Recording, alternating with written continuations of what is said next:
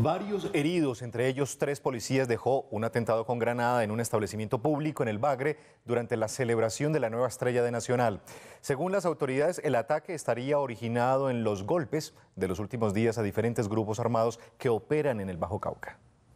En la última semana hemos dado varios golpes en este municipio, se han capturado integrantes de la red de apoyo al terrorismo de las FARC y del ELN,